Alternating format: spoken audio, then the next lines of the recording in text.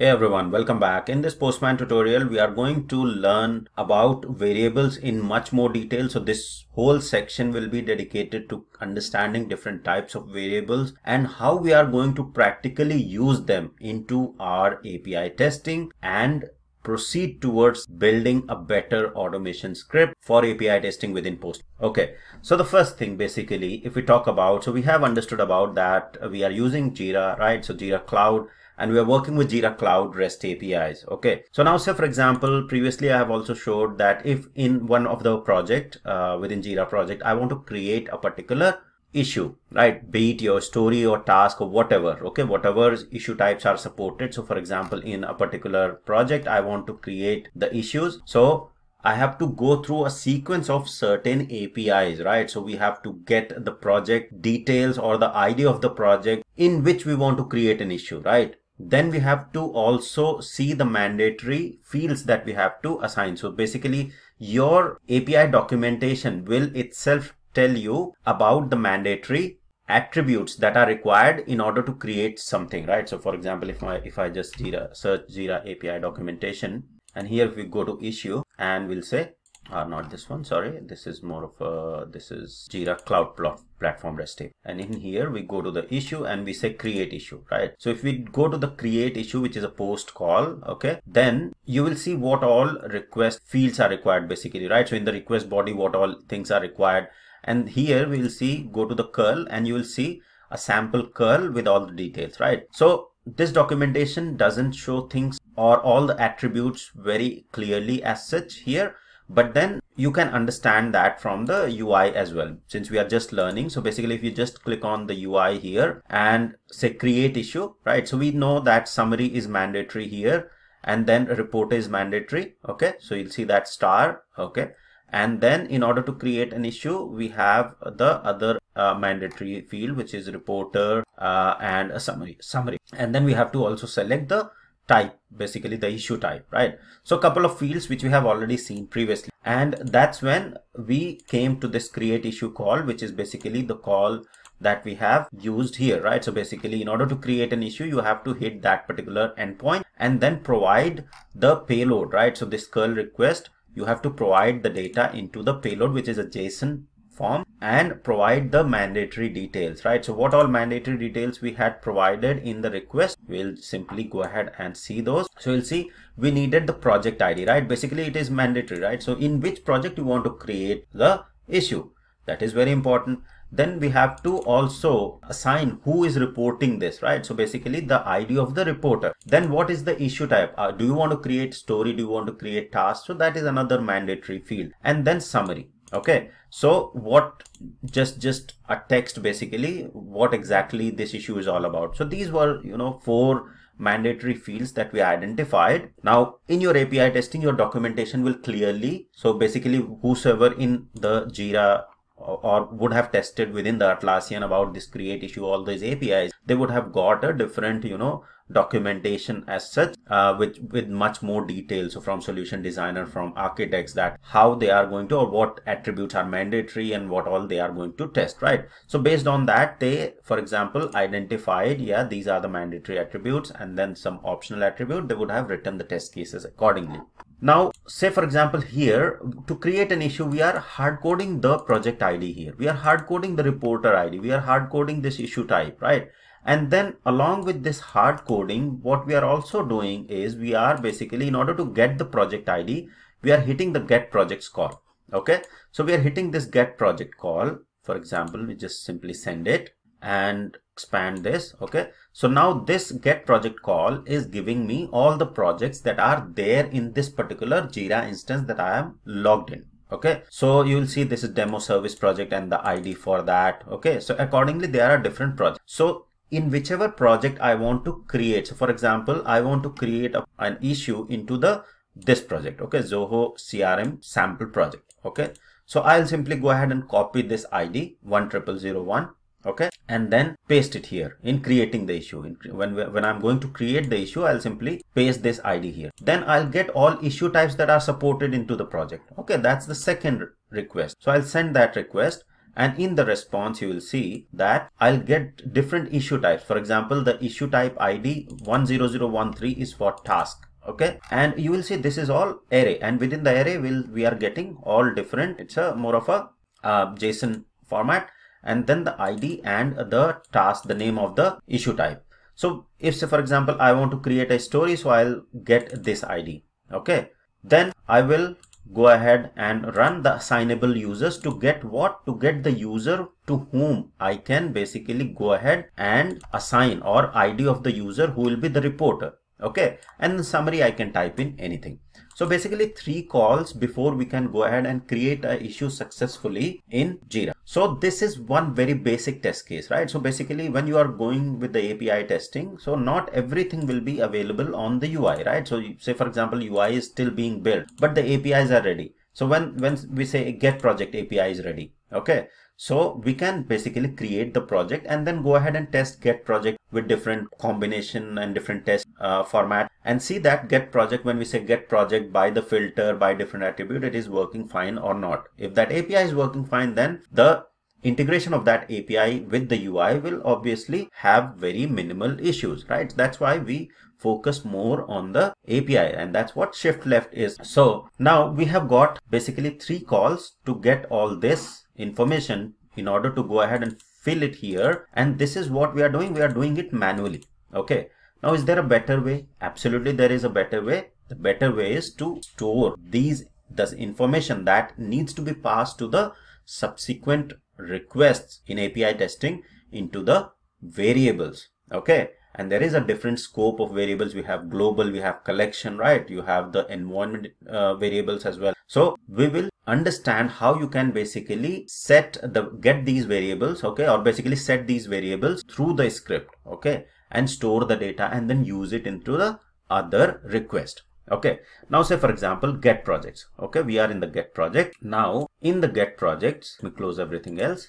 When i am when i'm going to create an issue i need to get the project id of the project where i want to create an issue. Okay? So the project id where i want to create an issue is this zoho crm sample project the name of the project and this is the id how can i go ahead and store in a way in it a variable and then use it in a subsequent create issue call? Okay? So what we need to do we need to simply go ahead and in the tests. Okay? What we'll do is we will simply use pm okay and then we'll say dot collection right as soon as you will say pm is an object so postman and dot collection variable is a property, right? So when we say collection variable, this variable will be created through the script and will be at the collection level. Okay, when we say collection level, it is basically the scope will be at this level, right? At the collection. So let's quickly set it. Okay, so what I'll do is I'll say pm dot collection variables dot set. Okay, set dot set, and then you will see that you have to provide the string, the key. What is the name of the variable, right? And then the value, right? So you have to fetch the value from where? You have to fetch the value from the response. Somewhere in the response, you will get the project ID that you need to store in a variable so that you can use it. You, you can use that variable somewhere else in your script and you don't have to manually copy and paste, right? So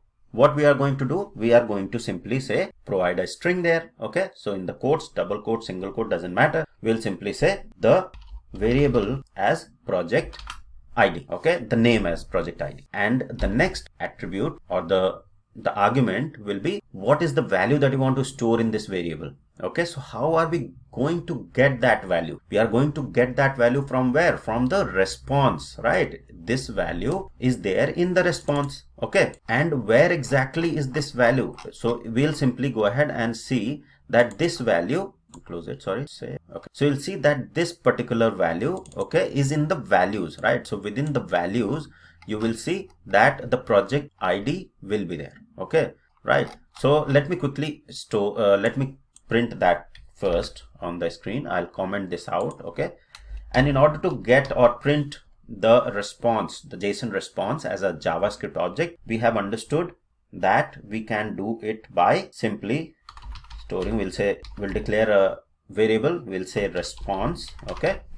And then we know that there's an object pm and then dot response and then dot json is the method that will basically what it will do it will get the complete response okay? It will get the complete response from the response and store it as a it as a javascript object okay?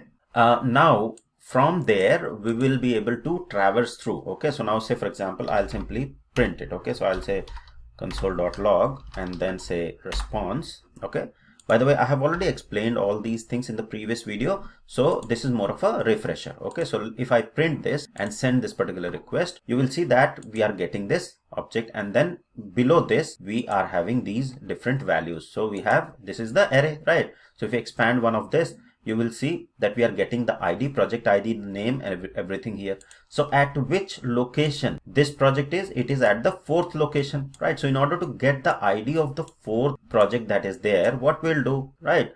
We will simply use the same trick that we use. So basically we know that we are getting the response and then we have the response and below response we have the values right? So we have this value. So if we say response dot values okay?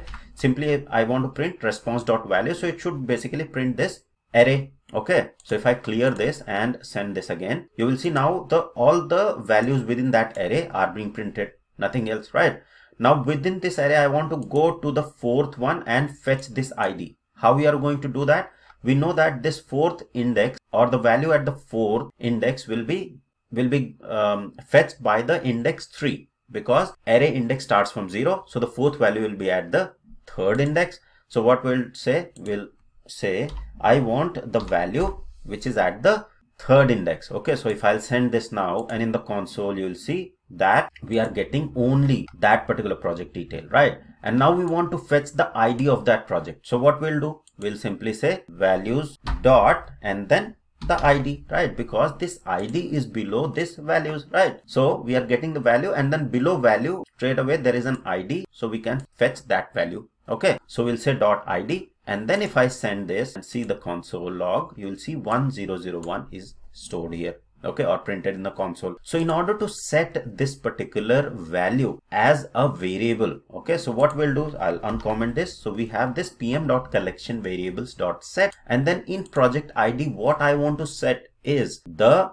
project id for the project which is at this index right? So we'll simply copy this okay and then paste it here right? So now what will happen is there will be a variable with the project id created at which level? At the collection level. So if i expand this here this is the collection jira api testing is the collection. If i go to the variables you will see there is a project id at the moment. Let me delete it okay? And save it. All right. So there is no project id at the moment right? So now if i go to the get projects okay and the project ID is project and I is capital and D is capital and then the value that will be fetched from the response will be stored against this particular variable. So if I send this now okay and go to this collection here okay so which is them you will see the project id variable has been created through the script and the value has been set which is the value of the project where we want to create the issue okay so this is how you are going to fetch the values from the response and store it as a variable, okay, or store those values in the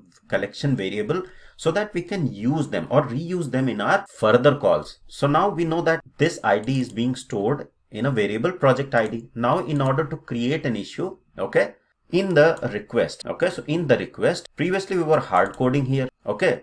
So now what we can do, we can simply fetch that variable right? So we can to fetch any particular variable we can simply in the double quotes right? In the double quotes we can just mention what? We can mention the id or the variable name. What is the variable name? The variable name is project id right? So we can simply put the project id there. Okay so we'll simply say project and id right? So you'll see automatically fetch that. Okay so now if say for example i go ahead and send this particular request. Okay, so let me save it. So now if I simply go ahead and send this request, okay, so it should work exactly the same way, right? So you'll see that uh, issue got created with this particular key. Okay, and now let me quickly clear the console and run it again okay so we'll simply see what exactly is the value that is being passed okay so we send that particular request and if we go here in the details in the request body you will see one triple zero one has been replaced as an id that has been passed. Okay? So this is basically how we are going to use the variables from the script right? So in order to use the variables from the script it is absolutely simple and easy. We simply have to define them. Okay? So let me open uh, the sidebar again. And we simply have to go and within the test we simply get the value okay by the tricks that we have learned previously and then store it in into the variable by using pm.collection variables.set. Now this is at the collection level. So basically this variable will be accessible by any of the requests that are below this collection, right? Below this 1.0 API testing, any folder, any request that is there below this will be able to access this particular variable value okay so assignment for you guys is basically go ahead and do the same exercise for the reporter for the issue type and replace those with the variables. And then summary as well we'll put some random text there right? Or you can leave summary as is because summary is something which you can basically randomize or type by your own. Uh, but these values need to be fetched from this get uh, issue type and then get users assignable. So similar approach i'll quickly modify the script for the next video with all these variables and i'll store it at the collection level and then we'll proceed further with doing end-to-end -end automated testing by fetching all these variables. Okay? So that's all for this particular video. I hope it was helpful. Thank you very much for watching